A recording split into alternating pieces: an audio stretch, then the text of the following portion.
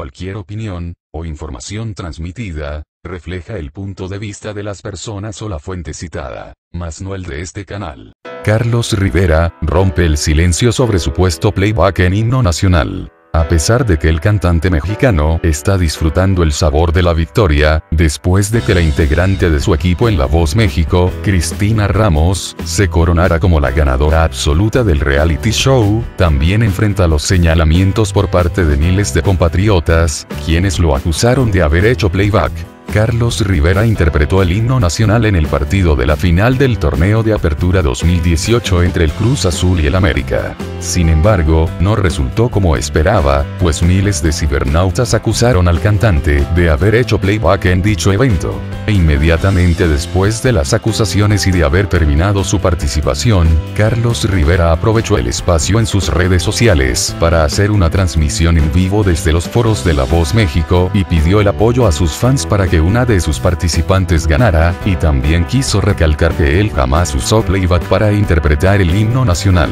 Ah, por cierto, que dicen que hice playback. No se puede hacer playback del himno nacional imagínense, yo sé cantar en vivo expresó el cantante.